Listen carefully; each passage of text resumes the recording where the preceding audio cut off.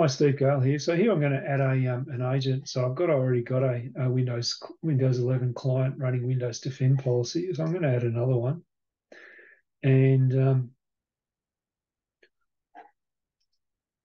I'm going to use the um, Windows Defend policy, and I'm going to enroll in Fleet, Fleet, and I'm going to go to Windows, and you can see here I've got the um, this is my this is my um, script.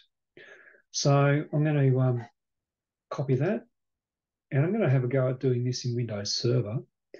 So I'll go to my Windows Server over here and I'm going to run up um, PowerShell. PowerShell, but I need to run it as administrator. So I run PowerShell as administrator, but I'm also going to run up um, um, Notepad and I'm going to paste the script into there because I need to add in here minus minus insecure and with an enter on the end. And I'll just save this on the desktop. So I'll just go File, Save As, and I'll call this um,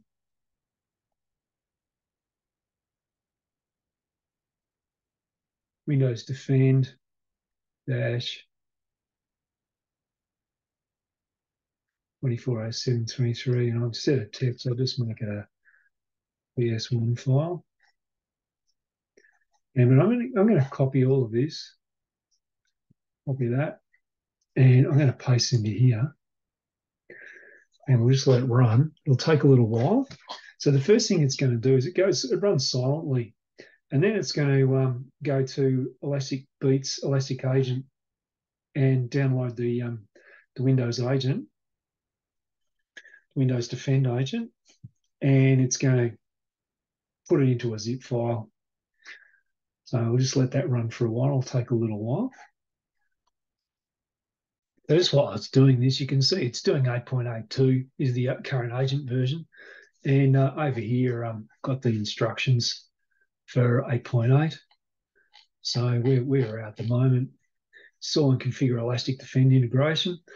Um, and um, so we've we've added the Elastic Defend integration. Oh, you can see here, hang on a minute.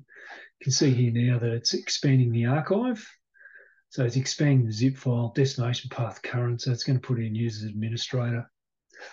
Anyway, just going back to here. So we've added the integration already. And what we're doing is we're um, is we're adding an agent so we've just gone, we've just said enroll in Fleet, install a Elastic Agent onto your host. What type of host are you adding? Elastic Defend.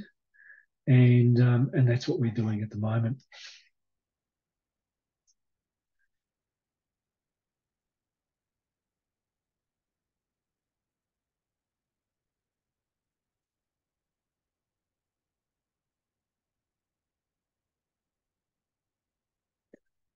Okay, so what it's doing now is it's actually installing the agent, and it's going. You can see here that it's it's writing back to um, HD 192.168.100.200 port 8220. So that's um, our Kali Purple SIEM running Elastic, and also running Fleet, and Fleet is running on port 8220. So it's going to send it's going to send um, this data back to um, back to Fleet so it'll it'll actually send it back to the fleet agent, but it's waiting for me. So it's saying Elastic Agent will be installed. It runs a service. Do you want to continue? So I'll just say yes to that, and um, it'll install the agent now.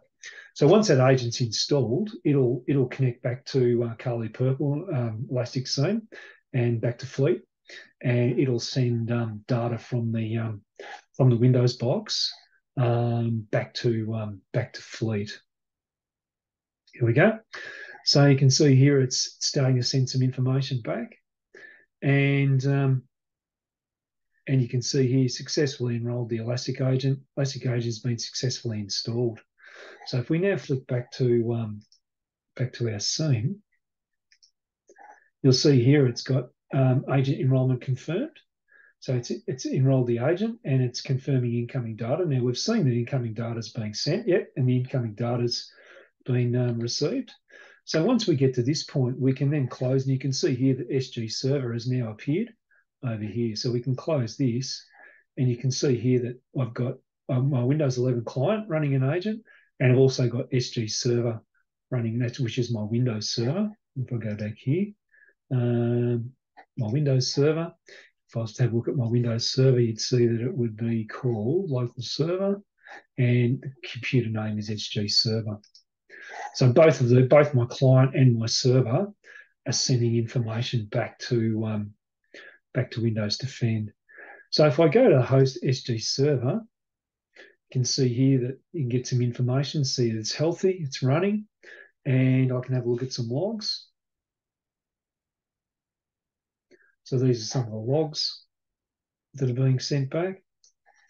So, yep, starting healthy.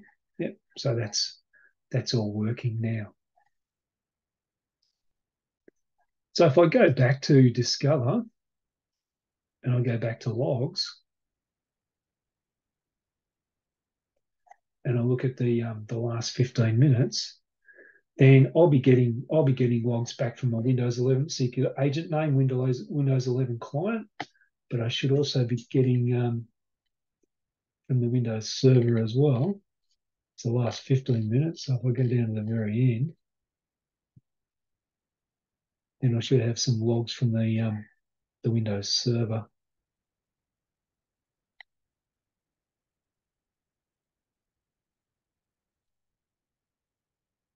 I'm looking for some here. Hang on a minute. Yeah, so I've just picked on the most recent log, and if we if we uh, highlight the log, I'll just show you how.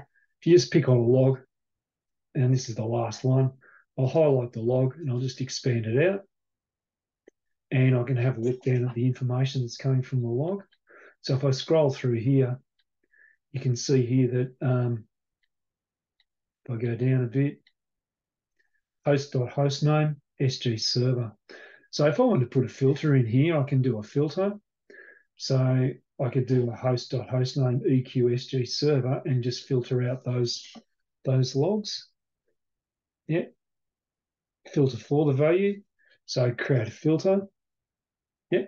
Host or host name SG server. And then all I'm doing is getting my um, my server log. So very simple filter. And you can see here that it's it's highlighted all of these um, logs that are coming back from my um, from my server SG server. So um, and then I can filter on various combinations of different things I can put into my log filters, whatever whatever information I'm looking for. Okay, thanks for watching.